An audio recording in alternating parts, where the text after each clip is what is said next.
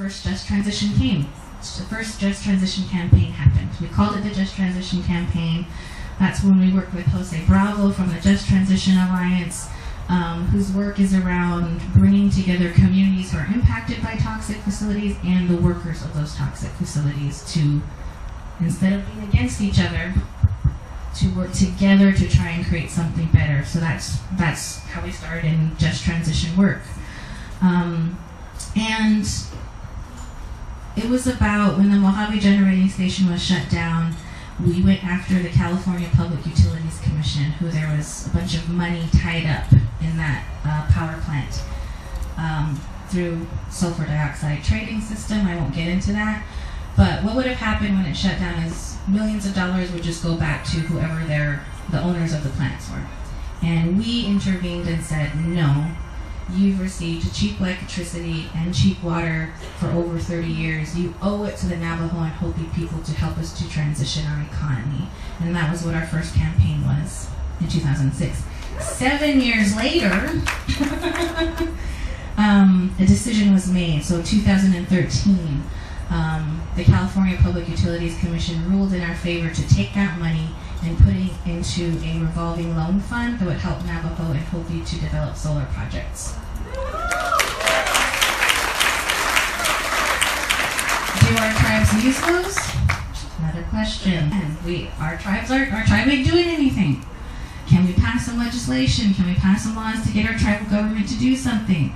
So our second phase of Just Transition was around building the foundation on the Navajo nationwide scale to push, at that time, a green economy, restorative economy. Um, so in 2000, so we did a lot of works around doing a bunch of events across the re- reservation called Green Awareness Days. Like, what do we mean by renewable? What do we not mean? Nuclear power is not renewable. You know, things like that. Um, and doing a bunch of events. And this was like in 2009ish, around there, 2008, 2009. We did a partnership with Northern Arizona University where we did climate change education in elementary schools across the reservation in Northern Arizona. We developed an incubator, a partnership with Northern Arizona Center for Entrepreneurship and Technology, NACET, in Flagstaff to create an incubator for Navajo people who wanted to start green businesses. And in 2009, we passed the Navajo Nation Green Economy Commission and Fund legislation, which was to create a budget line item in our tribal government's budget to start to fund projects for that would oversee that. So trying to get those things in our tribal government Yay, we passed it in 2009. Does our tribe do anything with it? No. Right, unfortunately. So every success we get, we're like, oh, okay, now there's something else we gotta do. So that was our second phase. We're like, okay, no one's doing anything with this. Our tribe's not creating any projects. They're not providing any pilot projects. I guess we gotta do that too. So our third phase of Just Transition was trying to prove that this economy would work through experimentation. And we had three projects, solar, wool, and food sovereignty. Now, and this is kind of, this is when I joined the organization, was around this phase. So the solar project. Our original idea was of, was to create all, on all the, all the, all the lands in Black Mesa who had gone through mining, um, to transition that into a large scale solar project. And we said, hey, um, all the infrastructure is already there. They've already gone through all of the different like archaeological reviews and things for that area. We can put solar panels there while the land is recovering. Perfect idea, right? Um, we could create 6,000 megawatts of electricity. Could create, create 300 to 3,000 well-paying operational jobs. It could create 700 to 38,000 temporary jobs. It could bring in 35.6 million to 357 357 million dollars a year to the regional economy, an additional 85.4 million to 4 billion a year in construction. Plus, it had all the ideal conditions, like we have good solar potential in that area. So that was our original idea. In the end, in two summers ago, I think, our first solar project is a seven kilowatt system on Forest Lake Chapter House. Yay, yeah, yeah. but what a big difference, right? We learned a lot by trying to, to starting out on this big scale. We went around to all the different communities And of course, people were like, oh, okay, so now I gotta, now that the mining's done, I gotta now give my lands over to a solar project, and money's gonna go to the tribe, but then eventually it's gonna come back down to me. They're suspicious. Hey, it makes sense to me. And I'm like, know, you're right. That's so right. All right, let's scale it back. Let's talk about, um, let's approach some families who have good land near substations, and we could like break it up into different pieces for people who opt into it. So we went around, did a lot of presentations with families. I remember one Christmas when everybody's home around the Christmas season, we were doing presentations, talking to these people. Hey, we could put this many kilowatts in your land if you're open to it. You'll get paid this much, it'll come directly to you and your family. It was like opening a can of worms. It was like what I observed was the non-Navajo in-laws like, oh, starting to take over everything. Um, we saw the relatives from Phoenix being like, no, when we come home, we don't want to see solar panels. We saw the people there being like, well, you live in Phoenix anyway. So it was just creating arguments.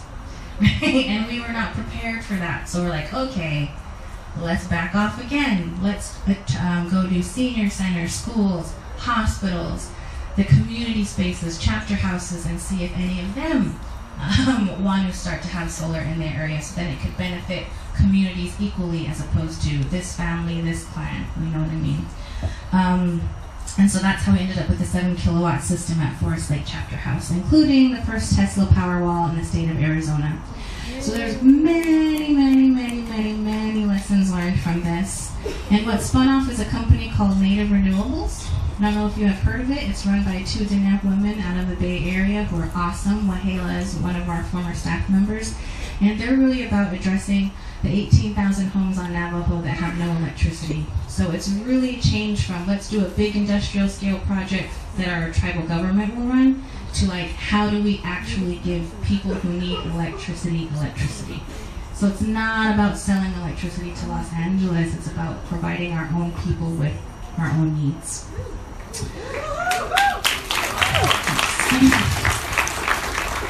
We, you're gonna have to regulate on me on time. Okay. um, so our second project was around wool. So again, I'm gonna talk about Wahleah. So Wahleah helped her grandma shear her sheep. It took a week. Um, they had a truck bed full of wool. They drove it from Forest Lake into Gallup, New Mexico, border town, to sell it. Um, how much money do you think they got? So a week's worth of work between two people, driving two hours to sell it, um, one truck bid. How much money do you think they got for that? One dollar? Hundred? A hundred dollars? Anybody else? A hundred and fifty dollars? Five hundred? Eighteen dollars. right? Eighteen dollars. And when she was telling us this, and we were like, "What?" We had the same reaction as you guys, and we're like, "This someone is making money, but it's not us." So how do we get that money back to the wool producers?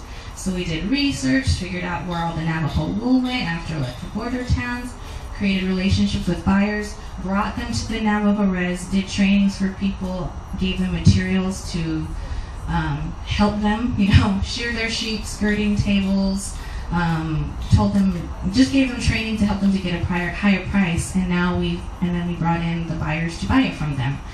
Our first wool buy was in 2012. It took place in Pinon, Arizona. It was about 15,000 pounds of wool. Was like $13,000 to the regional economy, and 10 families participated in the trainings. We just finished our seventh annual wool buy last week. That time is flying. I think it was last week. Um, I don't have the numbers for that one yet, but in 2017, our sixth wool buy, we started with 15,000 pounds. Remember, we sold 123,765 pounds of wool. We made maybe $12,000 for people the first year. Last year, people got spent 70 got $73,262 directly to the wool producers, not to the border towns.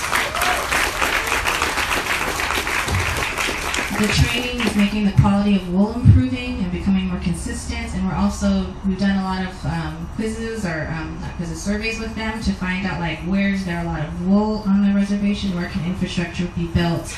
We're developing products. and more wool producers and buyers want to participate. We actually get calls from people like, hey, can we participate in your wool buy? And like, it depends how much you're to pay people, right? Because before people could get paid 10 cents a pound, 25 cents a pound maybe for the wool. And we've gotten it up to 75 cents a pound, for some even up to $1.25 a pound. So it's good. It's awesome. Our third project is a food sovereignty project. So we grow food on 13 acres of land um, in the Pinyon region, and um, and we just experiment. So there's no um, irrigation. We're trying to figure out how to use the natural landscapes and watersheds, and to restore those watersheds so they can flow into fields and grow food. Um, in addition to that, our 13 acres, so this is a learning center. People come, we teach them how we do things.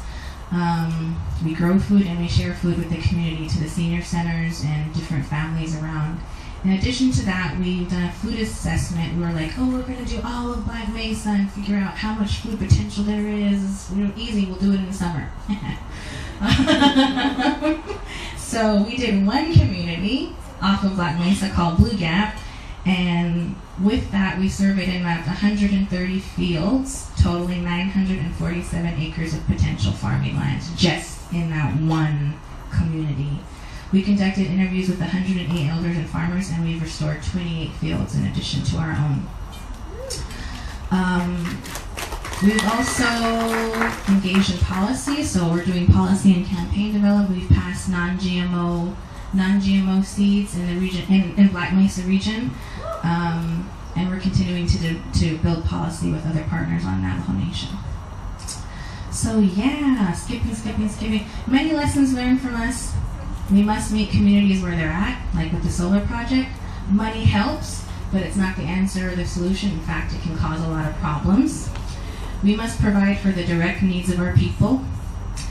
How can we get our people food, electricity, water? Nah, and, and more money, sure, but the way things are going, we're never going to catch up. We're never going to be able to afford things, right? Things are just going to become more and more and more and more expensive. So we can provide people with money, definitely, but if that's our ultimate goal, we're going to always be chasing that. We're always going to be chasing that. We're never going to reach it. So how can we actually provide people with the things that they need without having to have the money as the in between those things? That's really our goal. We must build from our traditional values and teachings. Movement building matters, and or movements don't mean organizations. So we're one organization, we're a nonprofit, but a lot of the people that we work with are not nonprofits, and they don't have to be. they don't have to be. They're still doing the work. And how can we support those too?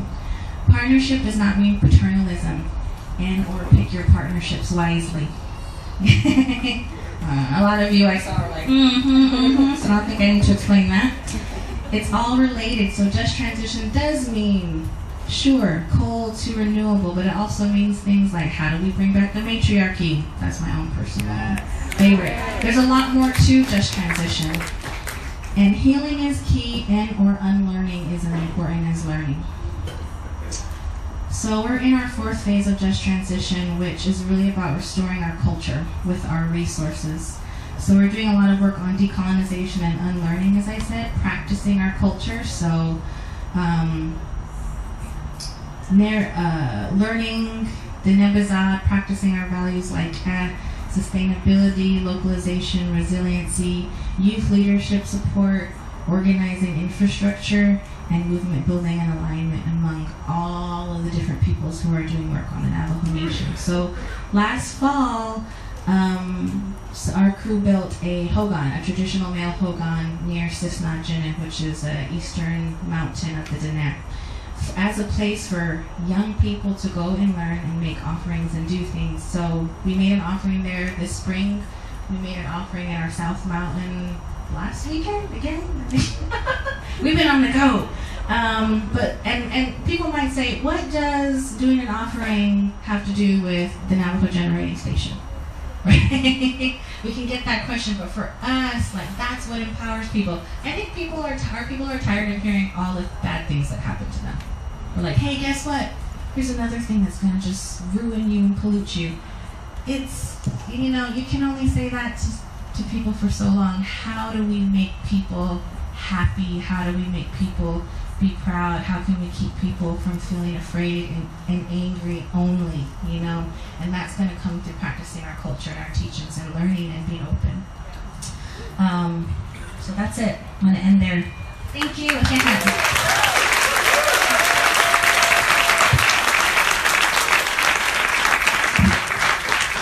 so much, Jihan. And if, if nothing else, I hope you got the point about just transition is not something that happens overnight. It's a very long term process, long term thinking. If there are any funders here, I hope that you understand that it's uh, we work we work so hard to do qualitative work over quantitative work and it takes time to do that. Build a really good and solid foundation as Jihan clearly um, showed us during this. And so thank you so much for that. Um, and we're going to uh, continue on with our final panelists before we open up for questions at the end here with melina Melina Laboucan Massimo, a good friend of mine. I don't know if you were here earlier, it's also Melina's birthday today. I'm going to keep reiterating that. Uh, Melina's been very, very, very busy. She, I, I remember I was like, Melina, what should I put for your title now? And uh, she texted me, and I was like, whoa, okay, cool. I'll, I'll say all, I'll say all these things. She's been working with Lubicon Cree Solar in her community but she's also a David Suzuki Fellow, and she's also a TV show host for Power to the People and has been on location internationally, recording and doing her, her shows. I was just uh, watching, I think it was CNN last Sunday or something, and I was like, that's Melina. she's on TV. so if you get a chance to check out um, Power to the People, she is the host, so give it up for Melina.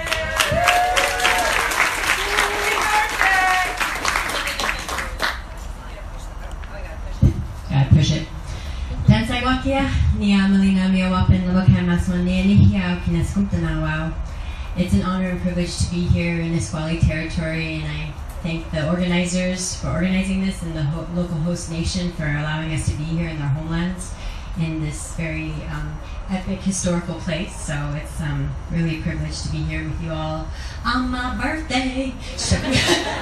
I, this is a cool way to celebrate. Um, last year I was with my dad at, actually in ceremony, so this is kind of like ceremony too. I was thinking this morning when I woke up. So um, I'm going to start with a prophecy um, and kind of channel in somebody who I, I take a lot of. Um, I've taken a lot of um, inspiration from, which is Winona LaDuke, who wrote amazing just transition um, booklets for Indigenous communities many years ago that I read and was like, I'm going to do that.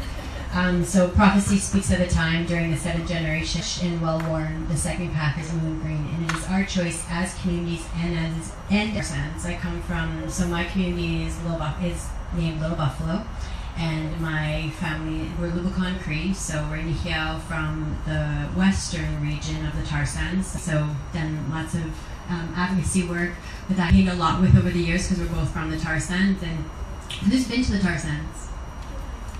We're talking about just transition, but as you know, it's one of the biggest industrial projects on the planet, and what we're facing is really intense. Um, I grew up going with my kukum and mosom on the horse and wagon, and so you know this is in the 80s, and um, the all-weather road was built into our territory in 1979, so before I was born, and I remember going in the horse and wagon with my kukum and mosom. They didn't speak English; they only spoke Cree.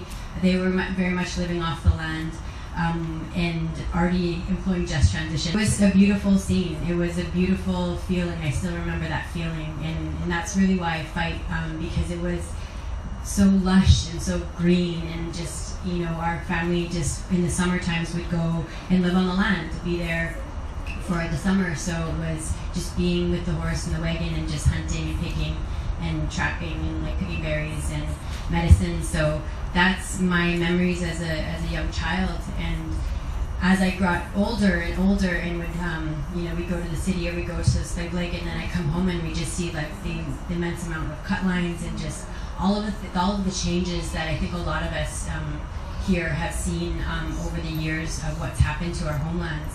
And it just you know would get to the point where I would just break down in the, in the in the truck with my dad and be so upset of what was happening to our homelands that you know so I just worked so hard trying to protect our homelands and similar to what was when there was a massive oil spill back home and it was 4.5 million liters. It was 20 down a corridor where people pick berries people hunt moose um, and this the beaver dams were completely subsumed like and it was just it was probably one of the most trauma teaches Korean in the community and has for like 35 years. She was texting me and she's like can you figure out what's happening from the school? Because we thought maybe it was a propane leak inside the school but we took them outside and um, they just we can't breathe. It's, it's worse actually out in the open field.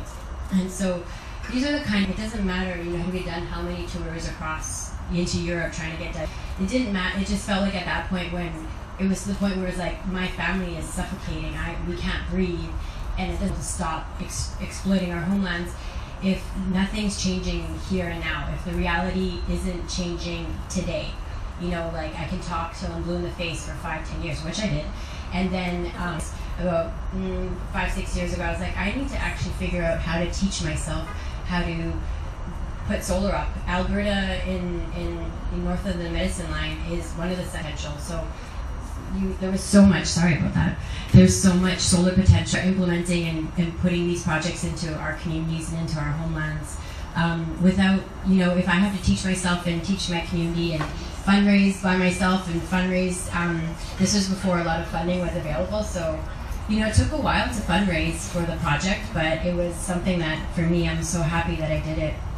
Um, you know, because what we know that climate change um, is, is massive. We have massive forest fires back home in Alberta and in, in so-called BC. There's just immense impacts to our homelands. So, what are the things that are we look like for us? You know, in the tar sands, working with, with workers, there's so much um, kind of fighting with tar. You know, when we used to shut down mines and and, and uh, shut down certain uh, We'll be filming the rest the of workers these find my cell phone conversations. somehow and they'd Please tune in and- and what are you doing? stay connected Damn, with us throughout the rest of the I was Protect like, Mother "We're Earth you know, conference no one's this gonna week. run over us by the, you know, these these um these trucks are like three